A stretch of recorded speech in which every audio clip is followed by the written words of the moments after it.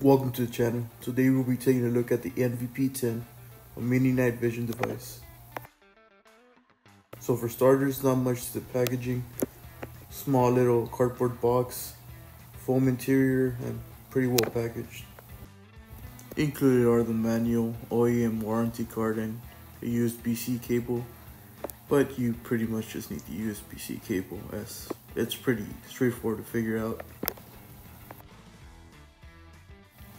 Now the housing and the design seem pretty slick and solid.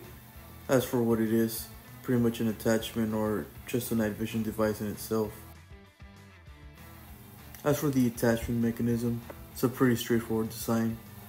It consists of a twist to attach or detach the device to whatever optic you're putting it to.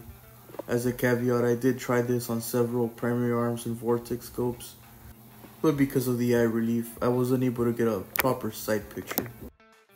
Now again, this is a very minimalist design, and as so, the buttons pretty much consist of turning off and on your reticle in the viewfinder, turning off and on the night vision mode, which activates the IR, the actual power on or power off button, and toggling the digital zoom in the viewfinder. As noted, because of the basic design of the device, when turned on, a loop record mode begins. The night vision mode when toggled on appears to turn on the IR light automatically.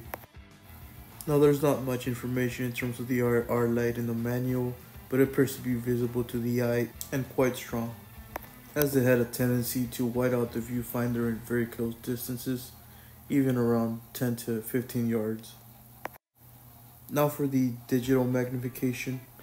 It is a 10x digital, not optical zoom, which does not appear during the recording feature.